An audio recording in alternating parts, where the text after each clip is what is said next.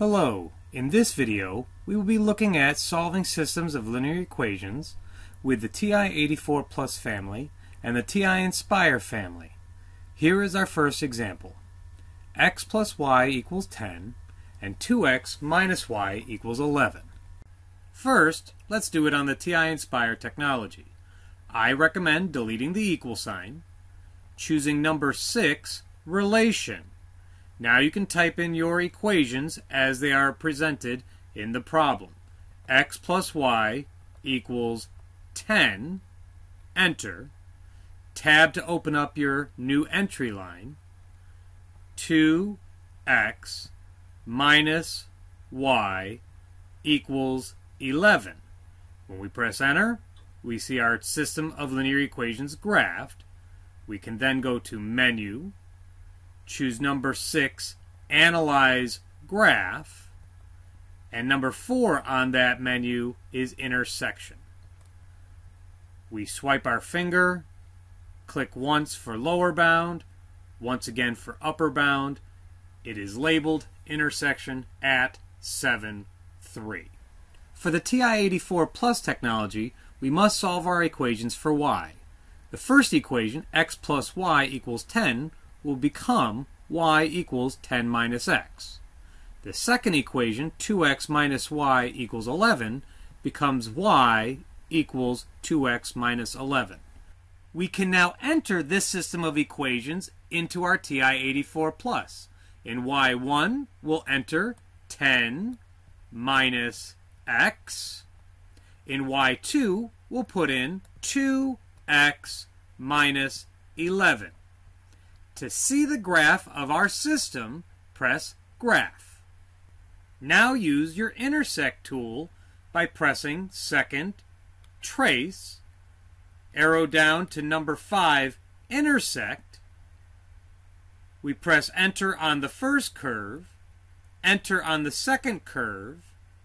We press Enter once more, and we find our solution is at 7, 3. Now, let's use the TI-Nspire Calculator app to solve this system of linear equations. Choose number 1, New Document, then select number 1, Add Calculator. Press Menu, choose number 3, Algebra, choose number 2, Solve System of Linear Equations. We have two equations the variables are x and y. We select OK. We now type in x plus y equals 10 2x minus y equals 11. We press enter and we see our solution set xy is 7, 3. For the TI-84 Plus, we will press the Apps key. We will use the Polynomial Root Finder and Simultaneous Equation Solver app. The title for the app is PLY-SMLT2. Select your app, choose number 2, Simultaneous Equation Solver. We can now set up our simultaneous equation solver. We happen to have two equations with two unknowns. Next is associated with the graph button, so I'll press graph, and now I enter in my coefficients. 1, enter, it is plus, 1, enter, 10.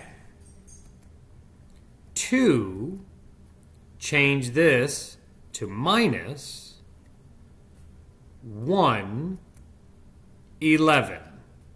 When I press graph, it will solve my system of equations x is 7, y is 3. To exit out of the app, press y equals, which is associated with main menu. Choose number 6, quit app, and now you're back to your main screen. Another way to solve this system of linear equations would be to use reduced row echelon form using a matrix. start by pressing second, matrix, arrow to the right over to math, and find reduced row echelon form, RREF, in that menu. Now, to create our matrix, press alpha zoom. Use your arrows to navigate the number of rows and columns. We need two rows and three columns. Press enter to select two and three, then select OK. Now put in our coefficients 1, 1, 10, 2, negative 1, 11. When you press enter, you will see your solution matrix. 1x and 0y's is 7, so x equals 7. 0x and 1y is 3, y is 3, for a solution 7, 3. Let's now solve this system of linear equations by hand. When we combine the two equations, we get a result of 3x equals 21. We will then divide by 3 on both sides, and we will get a result of x equals 7. Once you have found that x equals 7, substitute back in 7 plus y equals 10. Subtracting 7 from both sides, y equals 3. Your solution, 7, 3.